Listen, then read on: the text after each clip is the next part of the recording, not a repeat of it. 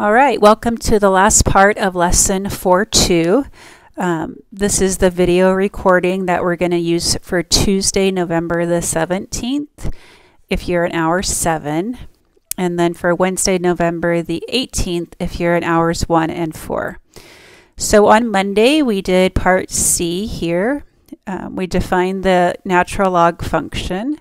Um, we looked at the graph of e to the x and its inverse. Um, we put these into our calculator and made sure we were proficient there. And we skipped over this slide. So now I want you to go in your notebook and I, write, I want you to write down all these properties of logarithms for the natural logs.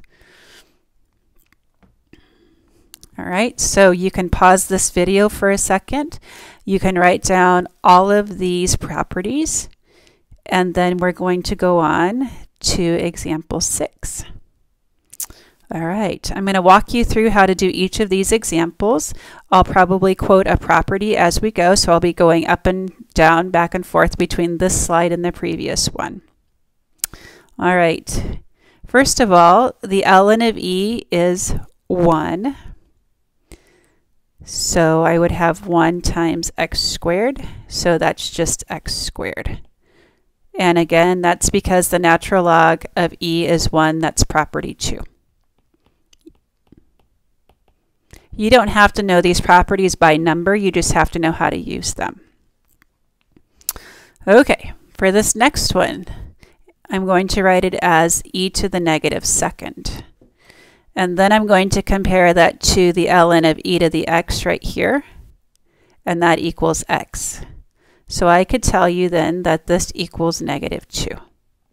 And that's property number, I believe that was 3.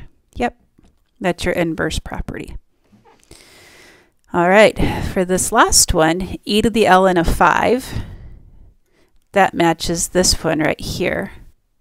So e to the ln of 5 is just 5. And the ln of 1 is 0, so 5 minus 0 is 5. Okay, that last one was a combination of property 4. Nope, sorry, the second part of property 3 and property 2. And you've got some here to try. Um, this is part A of number 6, this guy right here. So that's what I was trying to show you with my extra writing. That's part A. I added in a part B. And I gave you a new part C. Sorry, a news number seven. Okay. We already did example seven, so now the last part of this lesson is an application problem. So I'll walk you through this one, and then um, you'll be done with lesson four two. My next video will get you started on lesson 4.3. All right, students participating in a psychology experiment attended several lectures on a subject and took an exam. Every month for a year after the exam, the students took a retest to see how much of the material they remembered. The average scores for the group are given by the human memory model, and this is it right here, where 0 to 12 represents the time in months. So what was the average score on the original exam at time equals 0? So f of 0 equals 75 minus 6 times the natural log of t plus 1. So 0 plus 1 would be what I have. Now, if you were uh, paying attention before, the natural log of 1 is 0. So the natural log of 1 is 0. So that's the zero I have here. So the original score on the exam was a 75%. And then I would plug in and find f of 2.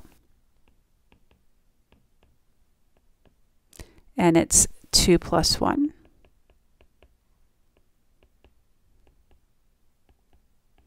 And I would go to my calculator.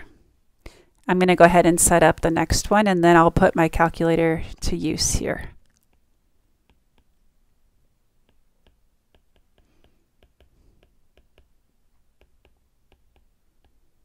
All right, so 75 minus 6 ln of 3 is about 68.4%. So two months passed and you've already forgot about 7% of the information. So let's see what happens at six months. Well, now you're down to about 63% of the information.